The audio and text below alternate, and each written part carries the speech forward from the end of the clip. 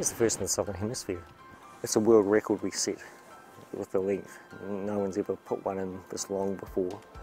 We've been looking at the, uh, doing this for some time with the Germans, with Amex uh, and Max and his team, and it was just a great opportunity to learn uh, the ins and outs of it. So uh, everyone was also very welcoming. I mean, we've kind of been welcomed by by pretty much everyone in New Zealand, so very overwhelmed also with the you know how we were received. And I think with Hadlee and Brunton, the great thing is that you you know one have a partner that really has the capacity uh, and the capabilities to do all of the surrounding work, so you can pull off also very complex jobs. Not only was it so difficult to to you know design and make sure we got it absolutely right, but on top of that, uh, level four lockdown happened. The planes fell out of the sky, and there was no way of getting it here. Germany was in lockdown. It's the longest liner they've ever produced in, in history, so that had to get somehow fitted into a box to squeeze it into a plane to get it here under urgency. The um, I think Wellington Water actually um, reached out to to I think I don't know even know to the German government or the embassy to strike a deal to get us flown in on on the, the one of the empty legs of the repatriation flights that were supposed to bring Germans back home.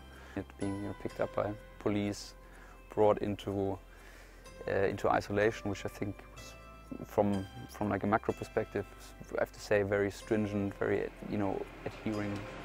It was two concrete lined ductile iron uh, pipes which run 1.8 kilometres between Island Bay and Kilbirnie through an old existing tunnel. They're cast underneath concrete. It looks like there's been a seismic shift in the tunnel and the concrete benching is broken about a quarter of a kilometre down the tunnel in that section, both both of the ductile iron pipes have broken and uh, have water infiltration. The pressure liner that we're using today uh, has been around in Europe for about 10, 15 years. Is that look, this is the first one in the southern hemisphere. Let us do a world record attempt with it. Um, it's a big ask, um, and we already been through the process to get some case study projects up and going, which were due to start sort of midway through the year but then this one come on online and it was such an emergency and so much money at stake and, and there was no way of fixing it uh, apart from this solution. We couldn't say no, so that hence why it's uh, such an important project. The pipeline couldn't be cameraed because there's nothing in the world that can camera a pipe that small and that long.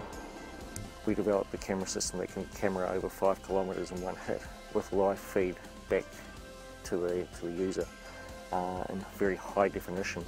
We could also 3D scan with that and ascertain what the degree of bends were, what the diameter, internal diameter of the pipe was, what the breaks look like, um, all of that sort of stuff. So very, very clever technology.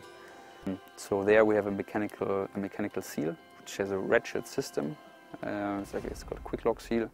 Comes on a, on effectively like a, like it's a pipe plug, so it's like a, like a lengthy air balloon.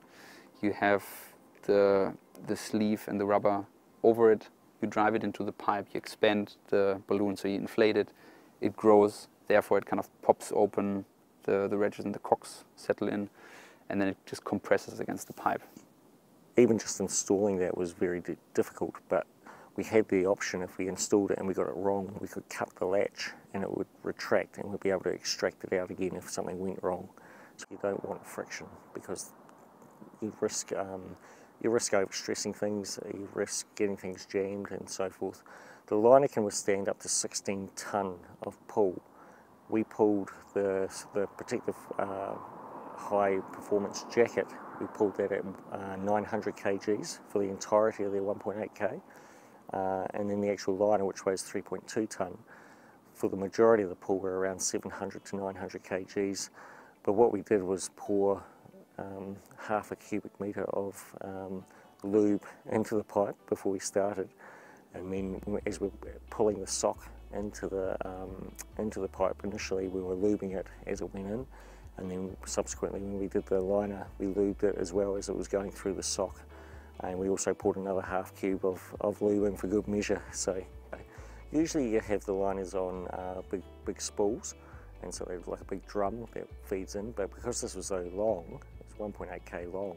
We had it flat packed in a box uh, to fit in the aeroplane and there was no spindle that we could find big enough to actually fit it in a wrapped state. So we had to bring it out of the box uh, using a series of men to, to guide it around and then put it through our wrapping machine which folds it into a C shape and then it uh, wraps tape around it to hold it in that C shape. So it's only about half the size of the pipe.